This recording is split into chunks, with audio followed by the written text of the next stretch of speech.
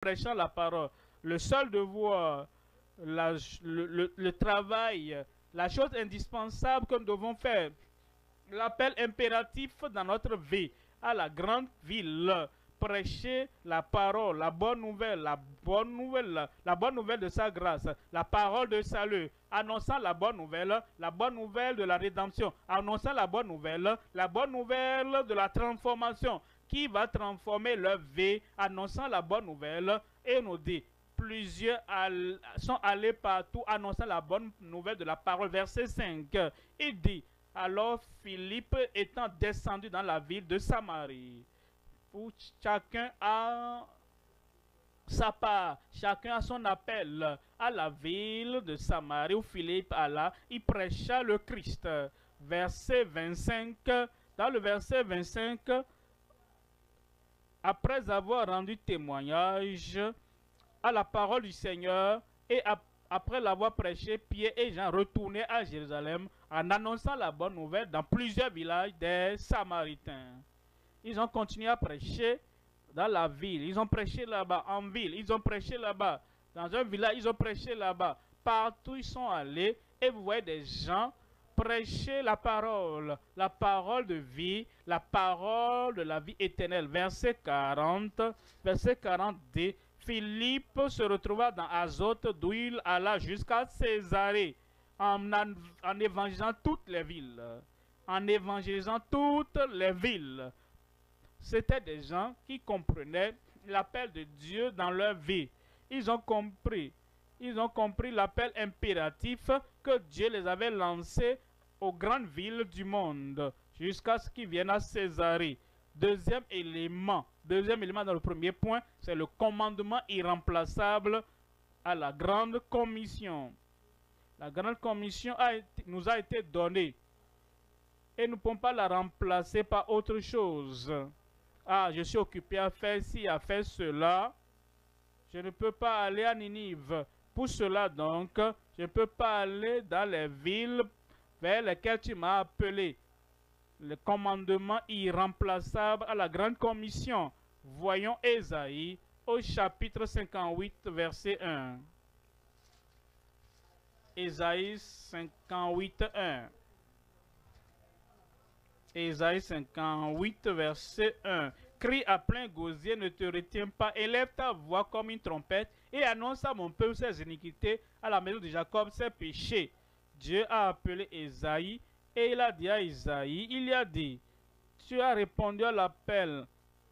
Quand j'ai dit qui ira pour nous ou qui marchera pour nous, tu as dit, me voici, envoie-moi d'accord, tu es là maintenant, au bon endroit, au bon moment avec les gens vers qui je t'envoie pour annoncer. Ne te tais pas, crie à plein gosier, ne te tais pas, élève ta voix comme une trompette et annonce à mon peuple ses transgressions, ses iniquités, à la maison de Jacob ses péchés. Est-ce que nous faisons ce qu'il nous appelle à faire? Est-ce qu'il est-ce que nous faisons ce qu'il espère de nous? Peut-être nous sommes allés. Peut-être nous sommes allés dans notre Ninive Peut-être nous sommes allés dans la ville. Peut-être nous sommes allés dans la communauté. Est-ce que nous élevons nos voix? Est-ce que nous, nous commençons? Est-ce que nous leur disons ce que Dieu veut? En Ézéchiel chapitre 3, Ézéchiel chapitre 3, verset 17. Ézéchiel 3, 17 et des fils de l'homme, je t'établis comme sentinelle. Quel que soit ce que les hommes, tes autres te poussent à faire, toi, Ézéchiel, j'ai fait de toi une sentinelle. Quel que soit ce que tes collègues font, quel que soit tes camarades de classe font, quel que soit ceux avec qui tu as fréquenté ensemble, fait la formation ensemble, quel que soit ce qu'ils font ensemble, quelles que soient les affaires qu'ils font, Dieu te parle directement. Que les autres fassent ce qu'ils croient qu'ils doivent faire, mais toi, j'ai fait de toi une sentinelle pour la maison d'Israël. Dieu était très clair et défini envers Ézéchiel. Quel que soit ce que Jérémie fait, quel que soit ce que Esaïe fait, quel que soit ce que Daniel est en train de faire, voici toi ton appel irremplaçable. Découvre et examine pourquoi t'a-t-il appelé et consacre-toi sur cela afin qu'il te récompense pour ce que tu fais ah, parce que tu fais ce qu'il t'appelle à faire. Et dit, c'est pourquoi écoute la parole qui sort de ma bouche maintenant. Ne me dévance pas sans écouter la parole de sa part. Jonas avait la parole, avait reçu la révélation. Ézéchiel avait écouté la révélation. Esaïe a écouté la parole, la révélation. Et toi, tu dois écouter la parole de sa bouche et les avertir de sa part. Pas de ton esprit, pas de ton opinion, pas de ton idée, pas de ce que tu penses que tu dois leur dire en ce moment particulier. Avertis-les de ma part. Verset 18. Verset 18, il dit, quand je dirai au méchant, tu mourras.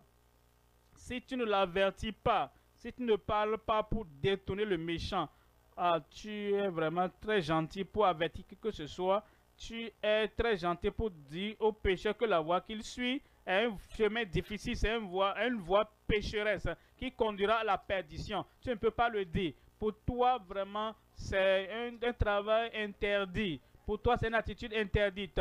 Tu es tellement tendre. Tu ne peux pas dire à quelqu'un qui est en train de périr et qui suit le chemin de la destruction. Tu n'as pas le courage, tu n'as pas la pensée, tu n'as pas la colonne vertébrale de lui dire que voici le chemin de la perdition. Bon, il quand je dirai, quand Dieu dit, quand le Dieu Tout-Puissant dit, quand je dirai au méchant, tu mourras, si tu ne l'avertis pas, si tu ne parles pas pour détourner le méchant de sa mauvaise voie.